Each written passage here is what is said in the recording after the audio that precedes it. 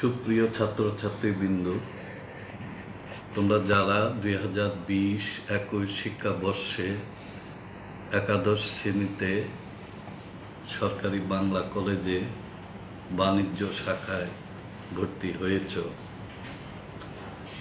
সকলকে আন্তরিক ধন্যবাদ ও শুভেচ্ছা জানাচ্ছি। তোমরা সকলেই ভালো আছো।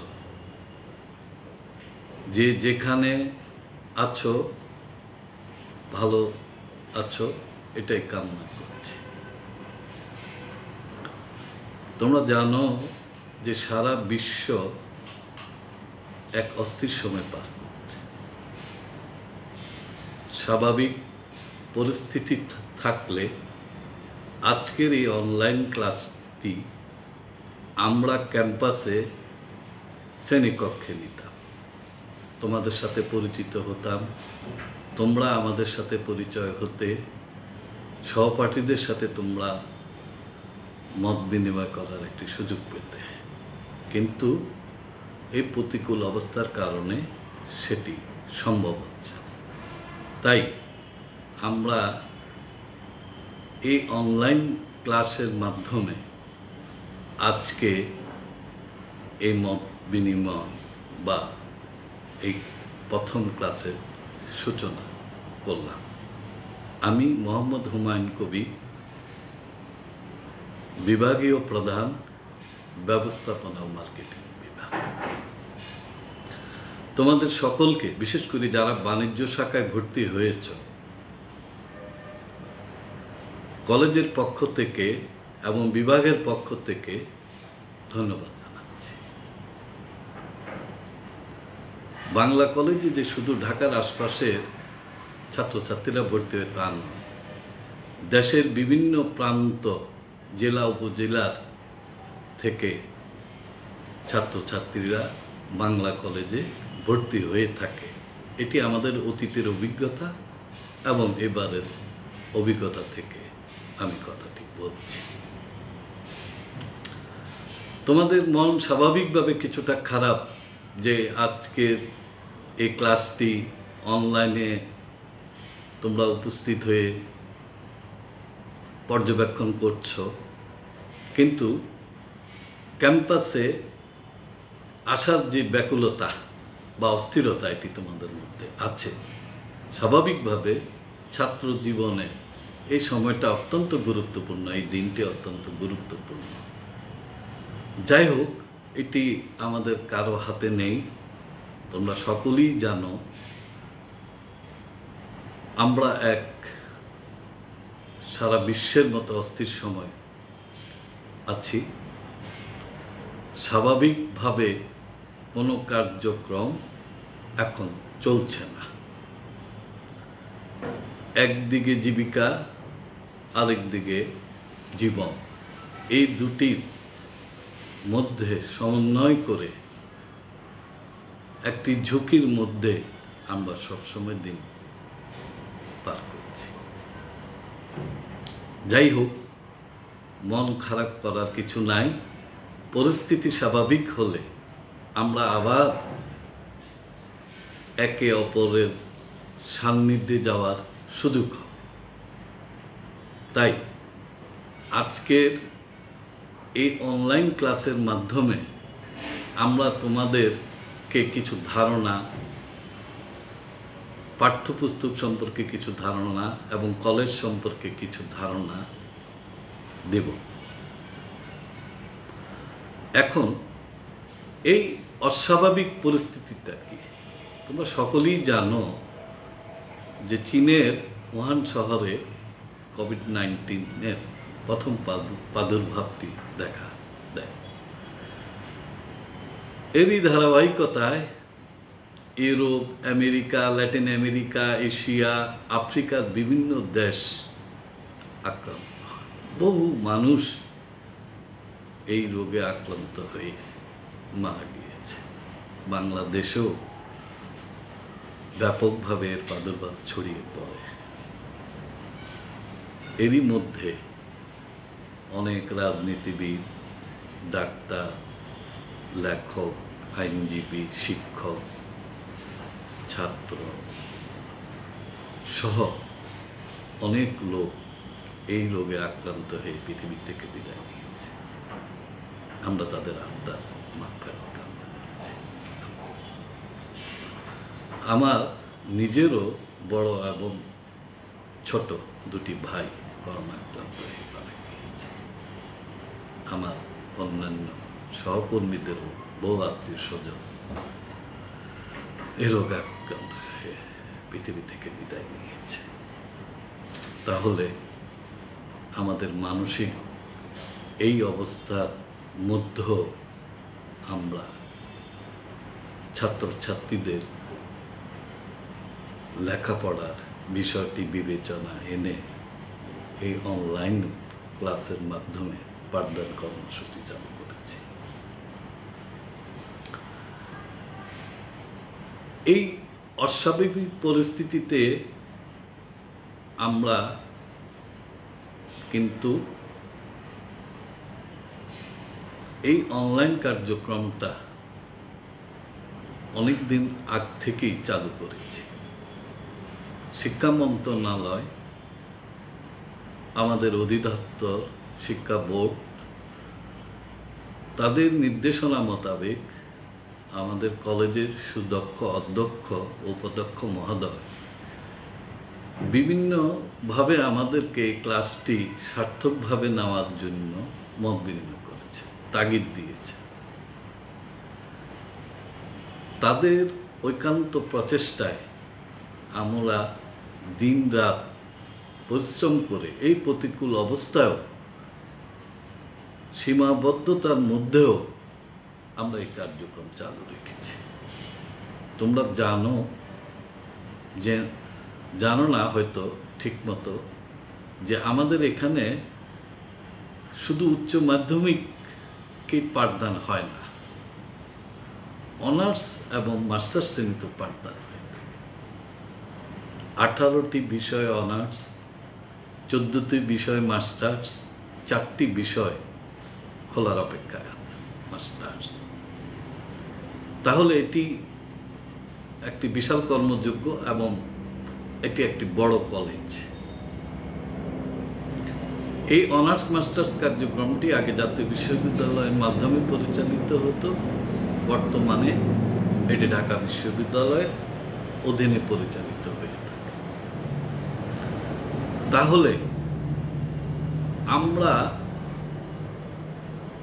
এই প্যান্ডামিক সিচুয়েশনও আমাদের এই অনলাইন কার্যক্রম উচ্চ মাধ্যমিক শাখায় এবং অনার্স মাস্টার শাখায় পরিচালনা করে আসছে। আমাদের একটি সুদক্ষ আইসিটি বিভাগ আছে, তারা অক্লান্ত পরিশ্রম করে আমাদেরকে বিভিন্নভাবে কারিগরি সহযোগিতা দিয়ে আসছে। আমি আজকের এই ক্লাসের মাধ্যমে তাদের আন্তরিক ধন্যবাদ জানাচ্ছি। আমাদের সহকর্মীদেরকেও আমি ধন্যবাদ জানাচ্ছি।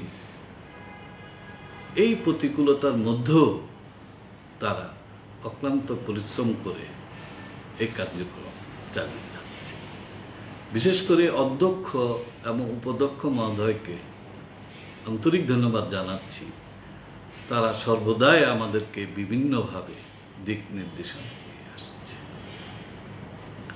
আমরা আশা করছি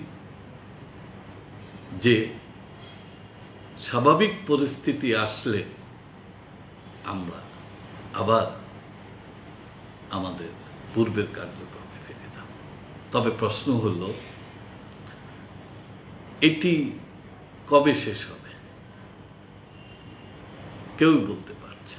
কোনো নিরাময় আবিষ্কার হয়নি আমরা ধরেই নিচ্ছি অনেক দিন হয়তো এই পরিস্থিতিটা বিরাজমান থাকবে। তাই আমরা তোমাদের লেখাপড়ার বিষয়টি বিবেচনা এনে এই অনলাইন ক্লাসের ব্যবস্থা করে নিয়েছি আমরা জানি আমাদের পূর্বের উচ্চ মাধ্যমিক শাখায় যারা এই পরিস্থিতির কারণে দ্বিতীয় বর্ষে উত্তীর্ণিত দ্বিতীয় বর্ষের আমরা কোনো পরীক্ষা নিতে পারিনি আমরা তাদের অনলাইনের মাধ্যমে একটি পরীক্ষার ব্যবস্থা করেছি।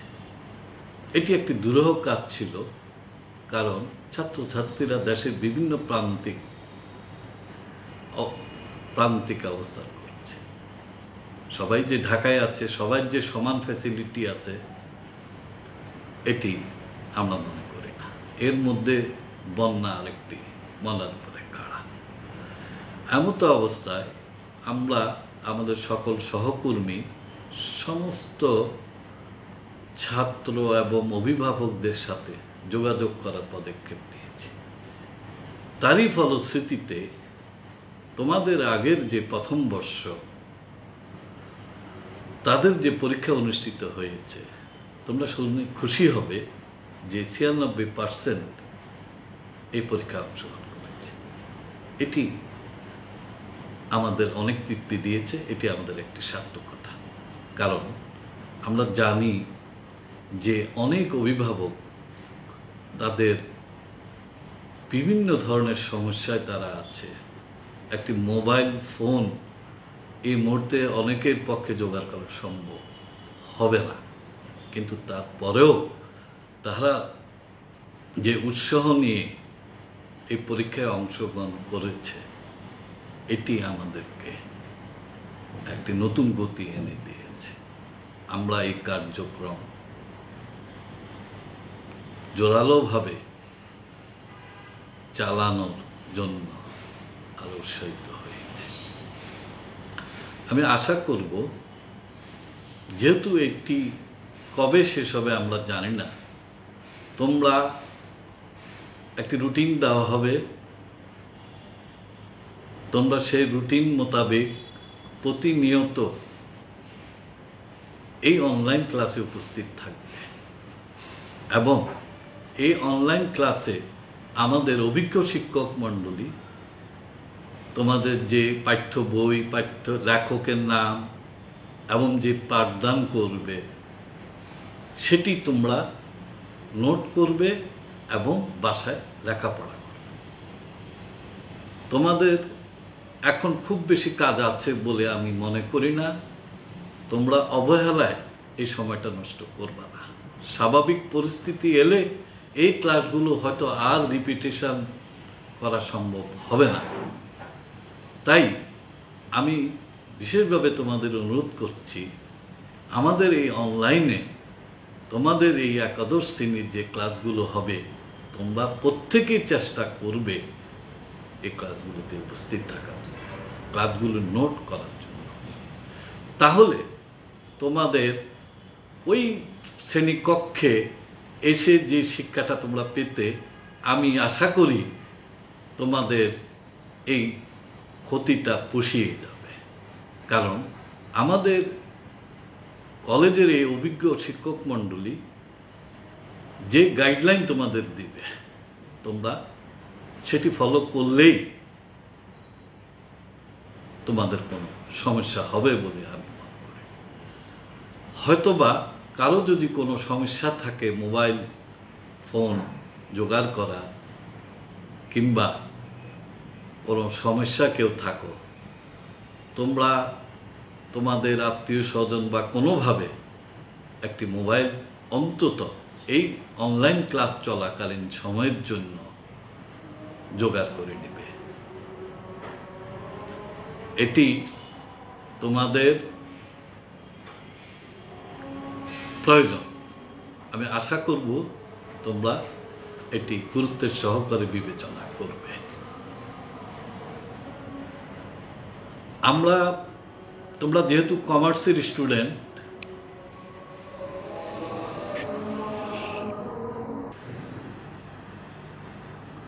তোমরা যেহেতু বাণিজ্য শাখার ছাত্র, প্রথম বর্ষে তোমাদের ব্যবসা সংগঠন ও ব্যবস্থাপনা। আরেকটি বিষয়, উৎপাদন ব্যবস্থাপনা বা বিপণন। এই দুটি বিষয় আমাদের শিক্ষকরা তোমাদের পাঠদান করতে। তারা বিভিন্ন ক্লাসে তোমাদের এই সমস্ত বইয়ের লেখকের নাম এবং লেখকের নাম বলবে এবং একটা গাইডলাইন দিবে, প্রশ্ন কীভাবে হবে, কি পড়তে হবে, এটি তারা বিভিন্ন ক্লাসের মাধ্যমে তোমাদের অবহিত করবে। তোমরা বেশি বই কেনার দরকার নাই। এই দুইটি বিষয়ের মধ্যে একটি একটি করে বই আপাতত কিনে তোমরা পড়াশোনা চালিয়ে যাবে। এছাড়াও হিসাব বিজ্ঞান বা অ্যাকাউন্টিং, বাংলা, ইংরেজি এগুলো বিভিন্ন বিভাগের শিক্ষকরা তোমাদের পাঠদান করবে এমন বইয়ের নাম বলবে, তোমরা সেই মোতাবেক বই কিনবে। একটি জিনিস মনে রাখতে হবে তোমাদের, আমাদের অতীতের অভিজ্ঞতায় আমরা দেখেছি। আমাদের এই কলেজে যেহেতু বিভিন্ন প্রান্তের জেলা, উপজেলার ছাত্রছাত্রীরা পাঠদান করে, বেশিরভাগ ক্ষেত্রে অনেক অভিভাবক অনেক কষ্টে তাদের ছেলেদের লেখাপড়া মত বিনিময়ের সময় আমরা দেখেছি, অনেক ছাত্রছাত্রী এই অভিভাবকেরাও গোচরে তারা ঠিকমতো লেখাপড়া করে না। তোমাদেরকে এই অভিভাবকদের এই কষ্টের বিষয়টি মাথা রেখে তোমাদেরকে কঠোর পরিশ্রম করতে হবে। কারণ এই উচ্চ মাধ্যমিক পর্যায়টাই তোমার পরবর্তী জীবনের একটি বিরাট ধাপ হিসাবে। তুমি এখানে ভালো না করলে পরবর্তীতে যে উচ্চতর ক্লাসে তুমি ভর্তি হবে বা বা লেখাপড়া করবে, সেখানে তুমি ভালো ফল করতে পারবে। না প্রতিযোগিতায় তুমি ছিটকে পড়িয়ে যাবে। তাই আমি বিশেষভাবে অনুরোধ করব যে সময় নষ্ট করা যাবে না। প্রত্যেকটি বিষয় তোমরা অনলাইন ক্লাসগুলোর সাথে সাথে বাসায় এটি গুরুত্বের সহকারে তোমাদের নিয়মিত ক্লাসগুলো অনুশীলন করবে। তাহলে পরিস্থিতি যখন স্বাভাবিক হবে, তখন তোমরা, তোমাদের। এই যে ক্লাস, শ্রেণীকক্ষে ক্লাস যে করতে পারোনি, সেটি আর তোমাদের কোনো বাধা হবে না। তোমরা এগিয়ে থাকবে। আরেকটি বিষয় আমাদের ক্যাম্পাস সম্পর্কে তোমাদের একটু ধারণা দেই। কলেজ সম্পর্কে একটু ধারণা দেই অতীতে যে কোনো সময়ের চেয়ে আমাদের বর্তমান একটা ভালো সময়ে তোমরা ভর্তি হয়েছ। কারণ কলেজে, কলেজ এখন শিক্ষার মান, পরিবেশ বিভিন্ন দিক থেকে অনেক এগিয়ে গিয়েছে।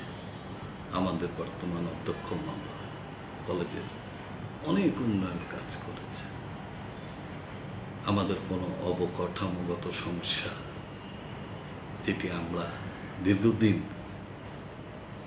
উপলব্ধি করেছি, সেটি আমাদের অল্প কিছুদিনের মধ্যেই দশটি দশতলা বিল্ডিং অচিরেই এটি কার্যক্রম শেষ হবে। তার মাধ্যমে আমাদের এই যে দীর্ঘদিনের শ্রেণীকক্ষের সমস্যা, এটি দূরীভূত। হবে এখানে অনেক কার্যক্রম বিভিন্ন বিভাগের শ্রেণীকক্ষ এবং কলেজের বিভিন্ন দিকের যে উন্নয়ন বর্তমান অধ্যক্ষের মাধ্যমে হয়েছে, আমরা অধ্যক্ষ মহোদয়কে আন্তরিক ধন্যবাদ জানাচ্ছি। তার অক্লান্ত পরিশ্রমের মাধ্যমে কলেজটি এখন একটি সুনামের পর্যায়ে পৌঁছে এখানে সুন্দর একটি লাইব্রেরি একটি আইসিটি বিভাগ, যেগুলো বর্তমান যুগের সাথে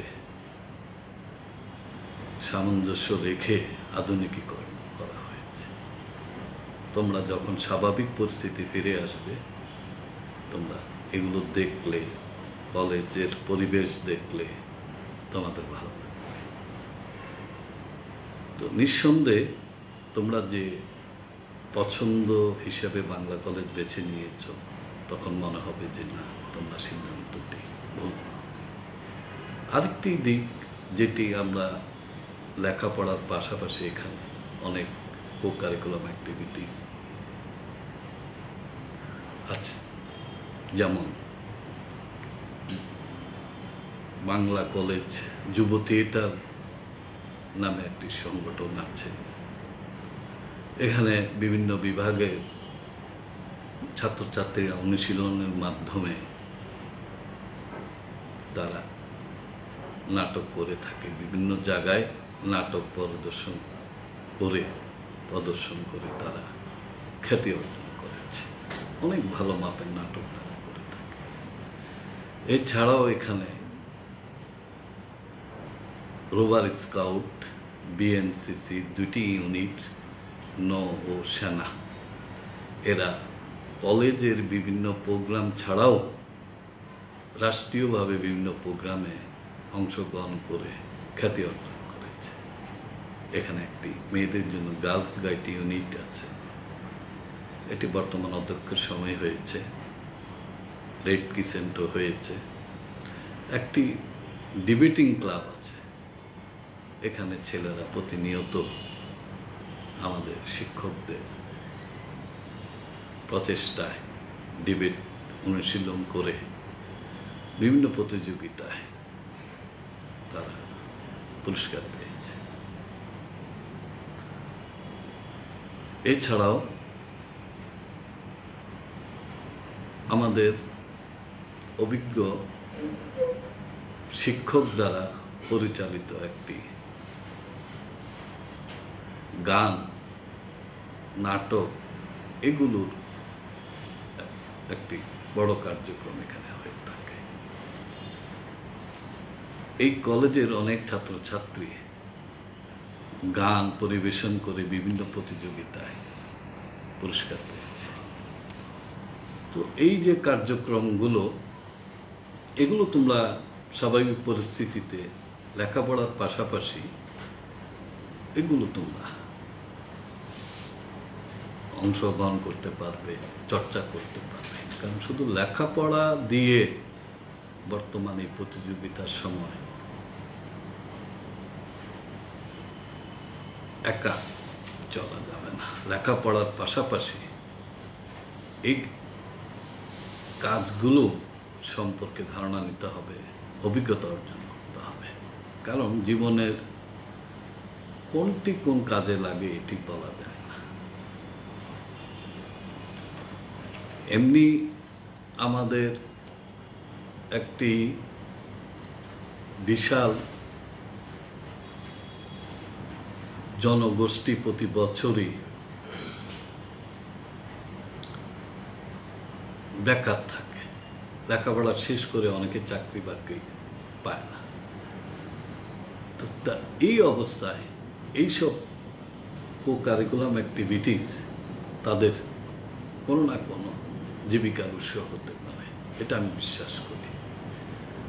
আর ছাত্রছাত্রীদের মধ্যে প্রতিভা আছে তারা যদি এটি কাজে লাগাতে পারে, তাহলে কোনো না কোনো ক্ষেত্রে তারা সাফল্য পাবে।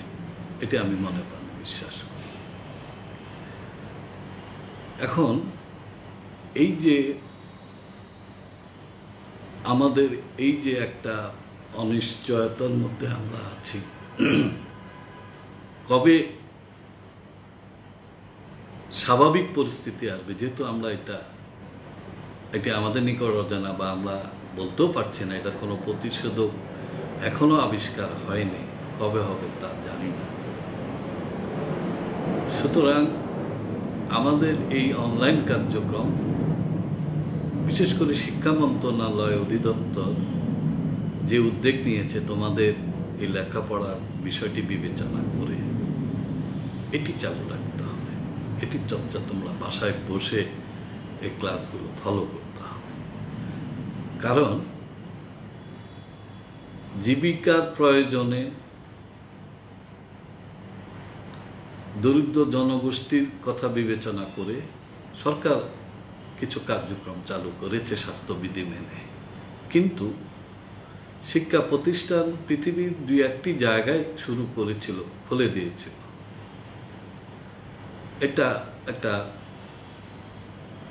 বিরূপ প্রতিক্রিয়া সৃষ্টি হয়, অনেক ছাত্রছাত্রী আক্রান্ত হয় কোভিডে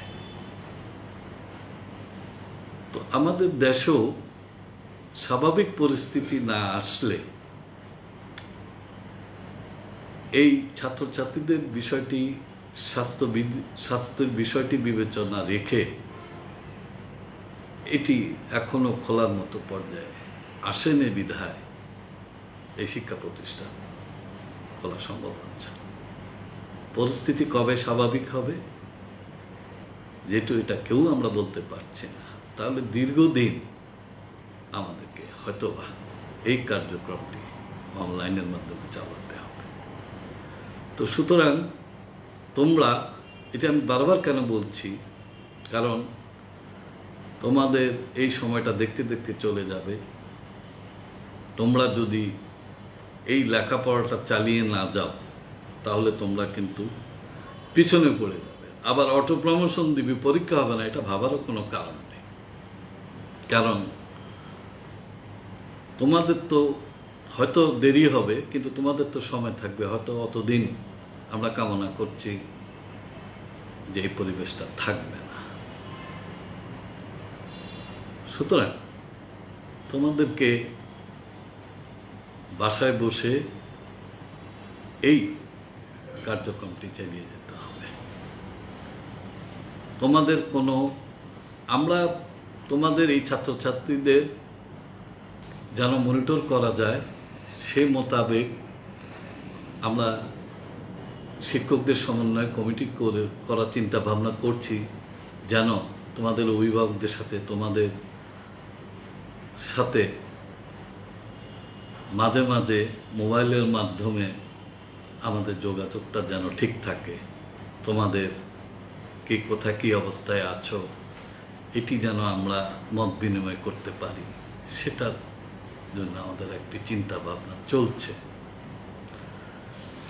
তো আমরা আশা করব, তোমাদের কত আশা করব, তোমাদের গার্ডিয়ানদের সাথে আমরা যোগাযোগ সময় মতো করব। তোমরা লেখাপড়া করছ কি না তোমাদের অগ্রগতি কি, তোমাদের কোনো সমস্যা থাকলে সেটি আমাদের জানাবে। যিনি ক্লাস নেবেন যদি কোনোভাবে তোমাদের শিক্ষকদের মোবাইল নাম্বার থাকে, তাহলে তাদের সাথে যোগাযোগ করবে, সমস্যাগুলো জানাবে।